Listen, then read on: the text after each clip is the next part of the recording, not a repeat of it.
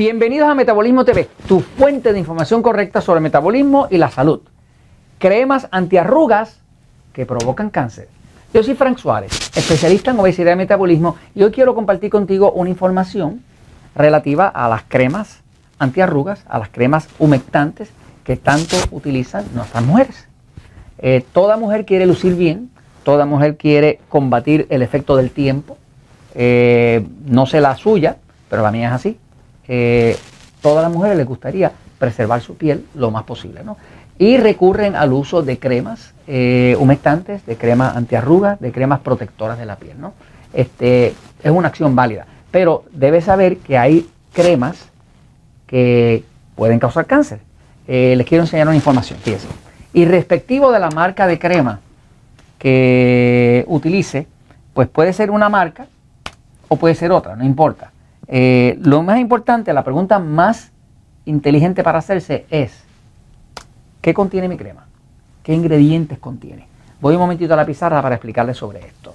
Eh, fíjense, los fabricantes de crema eh, necesitan cumplir con unas necesidades, necesidades comerciales. Ahora es importante que el consumidor de la crema, la mujer que es consumidora de la crema, sepa distinguir dentro de esa crema, qué ingredientes puede haber que le puedan generar un cáncer. Eh, la epidemia de cáncer cada vez es mayor eh, y debe saber primero, ¿verdad?, que el cuerpo es así y el órgano más grande que tiene el cuerpo es la piel. La piel. La piel. O sea, la piel, la piel es un órgano vivo que absorbe todo. Porque la piel tiene poros y los poros respiran. Así que usted pone un veneno, cualquier tóxico, lo pone sobre la piel y al momento ya está dentro de la sangre. O sea, la piel está viva, respira. O sea, de la misma forma que usted puede envenenarse tomando algo, también puede envenenar el cuerpo a través de la piel. Este, así que la piel definitivamente absorbe. Así que ese órgano, que es la piel, que absorbe, pues tenemos que protegerlo y asegurarnos de que no estamos poniendo tóxicos dentro, porque una vez que entran esos tóxicos al cuerpo, pues los tóxicos eh, causan un desastre al sistema nervioso, un sistema, al sistema hormonal, y eso eh, muchas veces pues, puede terminar fácilmente en un cáncer. Porque el cáncer sobreviene principalmente cuando el sistema nervioso está fuera de control, que entonces se descontrolan las hormonas, y como las hormonas son las que controlan todo el funcionamiento básico del cuerpo, automáticamente entonces sobreviene, las células se eh, mutan, hacen cambios extraños y mañana se llama un cáncer, ¿no? Ahora, los ingredientes principales que eh, usted debe protegerse cuando va a comprar cualquier crema es que tiene que mirar la etiqueta. Pero le doy esta información para que usted se pueda proteger.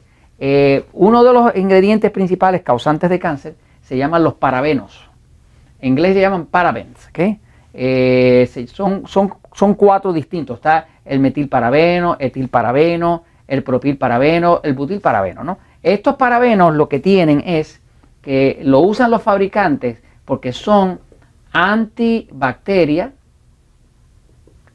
anti-hongo. O sea, ¿qué está haciendo el fabricante? El fabricante está eh, protegiendo de que su crema no se le dañe. O sea, que no le den bacteria a la crema y que no le den hongos a la crema. Está protegiendo su inversión.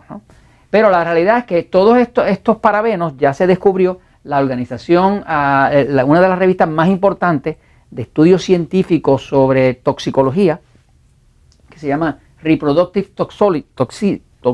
Toxicology, eh, la toxicología eh, reproductiva. Esta revista científica en enero del 2009 hizo una investigación completa, un reporte completo, donde declaró que los parabenos eh, todos son lo que llaman imitadores de estrógeno.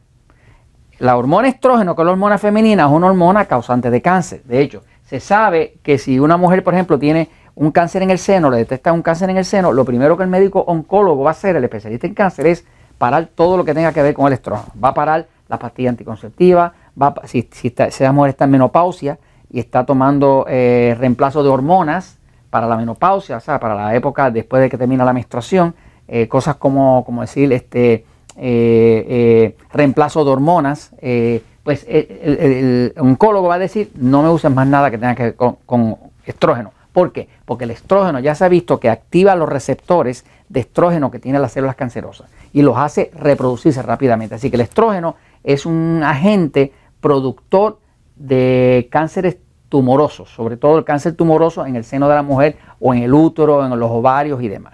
Así que el estrógeno causa estragos en el cuerpo cuando está en exceso, sobre todo cuando viene a través de una sustancia como los parabenos, que son eh, el cuerpo, eso se, une a los receptores de estrógeno del cuerpo. Por lo tanto, ahí que empieza a crear un cáncer. Ahora, la otra sustancia que nos reporta eh, la revista Reproductive Toxicology es lo que llaman los flatlatos.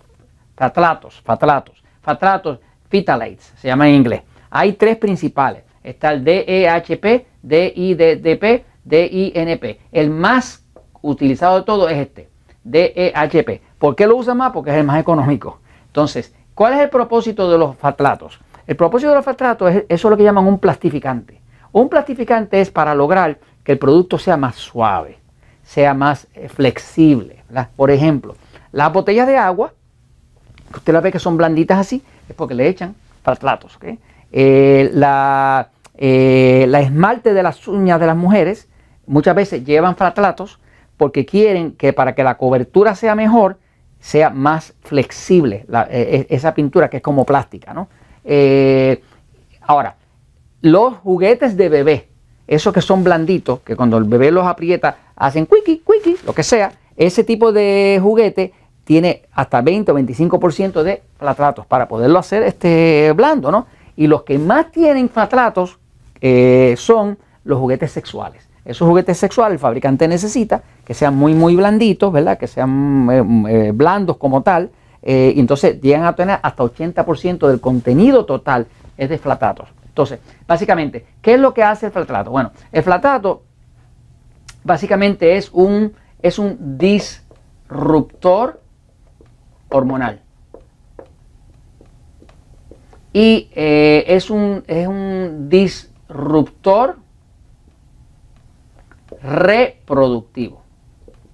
En otras palabras, que lo que hace el flatrato es que le daña el sistema hormonal y le daña el sistema reproductivo. De hecho, afecta mucho más, por ejemplo, una mujer que esté encinta, le afecta mucho más si el bebé es macho que si es hembra. ¿Me sigue? Y eso es lo que se ha descubierto en la toxicología, ¿no? O sea que, porque eh, tiene un efecto eh, especialmente malo sobre los bebés eh, machos, ¿no?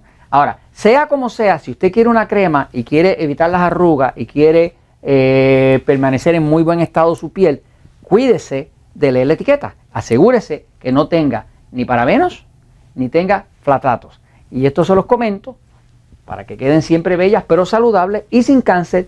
Y se los comento porque la verdad siempre triunfa.